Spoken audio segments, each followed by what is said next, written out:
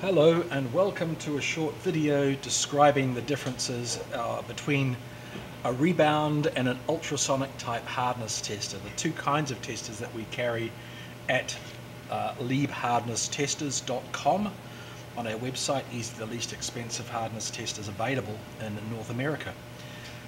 So this is the first kind. Um, it is a rebound type. Rebound meaning that when the slug inside the tester is fired, it rebounds off the part and that acceleration is measured by this coil. That rebound works because we fire a little test slug at the material. This is that test slug. There's a very small carbide ball on the end and the way that this is held is when the handle is pushed in, little grippers grab, grab the top of the slug and hold it inside the device. Then we can take it to the material being tested after powering on of course. We choose a material type here, in this case 01, if we look on the back of the tester it'll tell us what the material types are. Uh, here for steel, cast steel, tool steel, ductile iron and so on. And then we can set here the scale that we want to measure in. So let's measure in HRC which is here. It's showing zero right now as the Leeb value. This is the number that uh, the device actually measures in, and then it's converted to the HRC, Vickers, Brinell, whatever it might be. So let's do a quick test. I'll test on the test block. And you can see a value is shown here of 41.6. Leeb value 652. Now we never do just one test because you'd have inaccuracies. I want to do additional tests and it will then do an average of those tests. So this is showing 41.7, 41.0,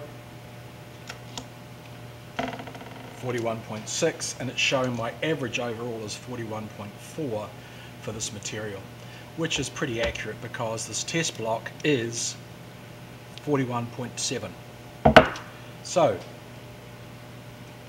this is how this tester works they are great for heavy materials and one of the reasons that the test block is so large is that it needs to be within the conditions that are set for rebound testers. Optimum 10 pounds or heavier, wall thickness 1 inch or greater and with a reasonable surface finish. Doesn't have to be this fine, you know something machined like this would be adequate but those conditions must be met otherwise you will get inaccurate readings. For example here on this part the wall thickness is maybe oh, 3 eighths of an inch thick even though the part weighs about 15 pounds. So if I was to test over this area you will even hear the part will ring and it's like a dull clonk. It does not give us an accurate reading. If I go over here which is now over the area supported by the diameter it will give us an accurate reading displayed. So thinner parts, no good unless they are well supported. Here, for example, if I was just to test off this part, I would get a reasonable kind of a reading, but it'd be really better if this was supported and neatly faced to another part which was heavier, and then to do a test would give a much more accurate reading. Part like this is really getting way too thin, so even it sitting on here, if it was well supported, um, would not give us an accurate reading. Parts as thin as this, forget about it, just not going to happen. This, no good, it's way too thin. This, say we wanted to test the hardness of the face of this, no good, it would never be able to measure, uh, measure it accurately. So if we do have conditions where we do need to uh, measure other parts, we need to install other test probes.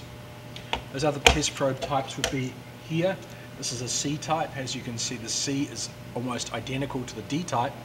The difference is that the little test slug that is fired at the part is much smaller and is not fired with as much force against the part. It's necked out.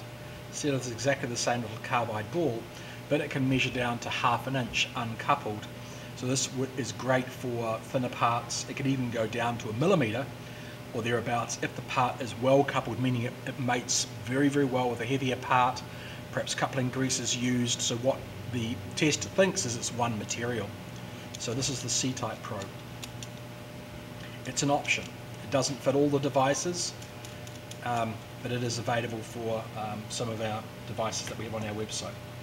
DL type, quite unusual because it has a very thin nose and this is used in areas where it's a gear or perhaps the root of a, a, um, a groove where the face on the regular D-type probe, the standard or universal it's called, cannot fit because this has to be sitting neat against the face and it must be perpendicular to the part.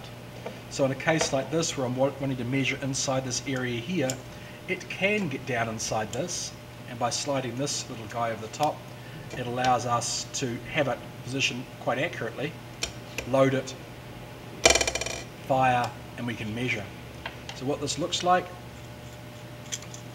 is a very, very thin probe, same gripper mechanism here, carbide ball, and high precision machined uh, probe. Next one along is this little guy. It's a DC and what it is is for getting inside areas, say inside of a bore, where the other probe is just too long, it can't fit. But this does not have the slider mechanism to grab the part. What we do is we use a little pusher that locks it, and now it can fire. Next one is a G-type, obviously much larger than a D, and it has a much larger firing force against the material. Also, it's more ruggedized because it tends to be used in harsher sorts of environments. And it has a huge test probe with a much bigger carbide ball as well. This one is designed for use uh, where it's very large, heavy parts, perhaps don't have the same machine to finish or don't need to have the same machine finish as the other types do. Um, so for castings, very porous materials, but it doesn't measure in Rockwell C in all the scales, typically only used in Brinell. So this one fits to the other units just by plugging in the cable. Okay, so this sort of a part also is not much good for the rebound type, it's just too small. We could couple it, we might be able to get some degree of reasonable uh, accuracy, but we're really pushing the envelope for rebound type testers. They do tend to be used for larger parts, well supported, and they are very, very accurate for those. They're great. So moving along from that, if we have the need for these thinner parts and less sort of effort required, we have a device that has typically been very, very expensive. Uh, it's a newer sort of technology. Uh, this is an ultrasonic tester. You can see the test probe itself looks somewhat similar. It's a cable attached to it. It has a foot here this can be screwed off, which is great because it's multi-purpose. Now this can fit inside here and do tests against that part or just handheld. But these do require more work to make them be uh, accurate. And that this work means when they're on the part and you're doing a test, you can fit the foot on, just push down, this unit beeps and it will give you a reading. So here is the reading on this guy. And uh, we could also screw this part of the foot off, turn it over,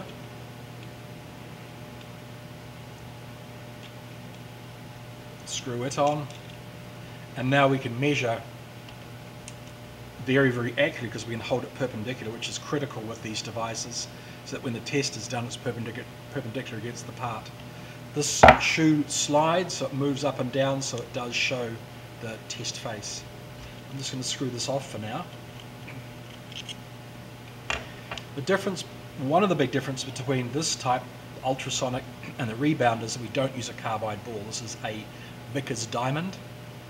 And what we do have inside here is a rod that this is uh, attached to the diamond and it resonates at a very, very high frequency. And so when it's applied to the part, we're measuring the resistance to the frequency through and giving us a very accurate reading. So about plus or minus two or less for Rockwell. Um, very, very good unit.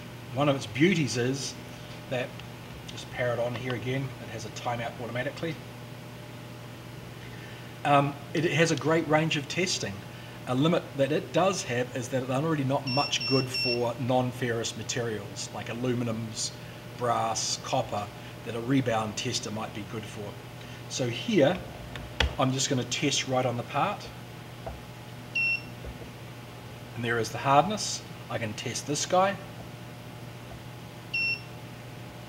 There is its hardness, you can see almost imperceptible is the little depression that's left, so we can really truly call this non-destructive testing. I can even test the face of the vise. I can test this part no problem at all.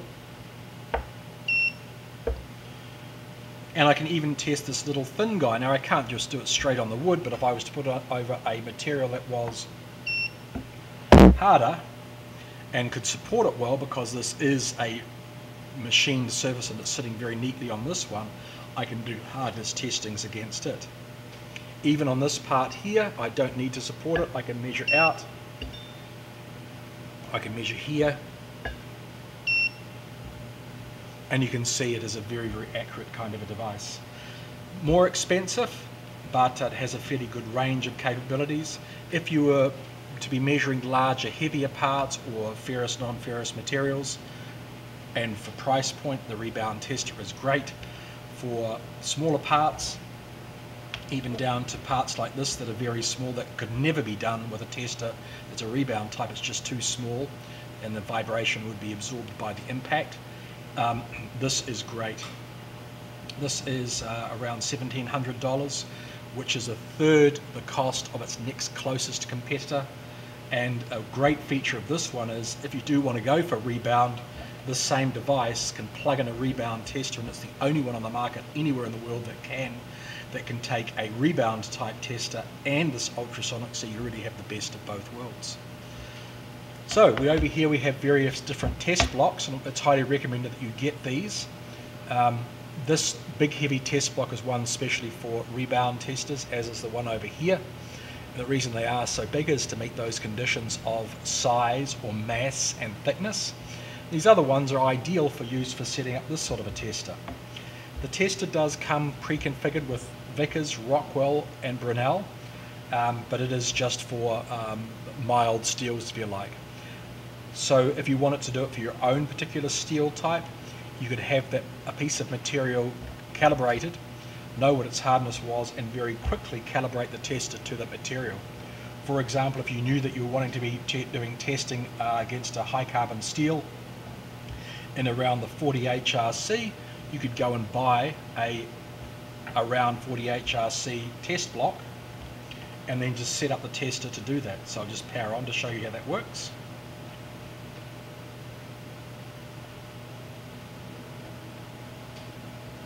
We don't sell test blocks typically except for the rebound type because they are harder to find. There are many companies that make test blocks that are NIST traceable and our whole philosophy is to supply products at the least or the lowest cost uh, if we have to then inventory blocks it could be bought from other manufacturers in the US, um, then uh, the cost would go up. It's really best that you just buy from those directly. So I can go here into menu and I can go down to calibration. I can calibrate with one point or two points. And if I do one point, I just hit select. And then I want to calibrate to this test block, remembering that it is only calibrated right now to um, to um, a mild steel. By test tells me it's 41.6 HRC I might do a couple of other tests because I only just did one there to see what my average might be but to do a correct I just type in and then I just change my test to the 45.3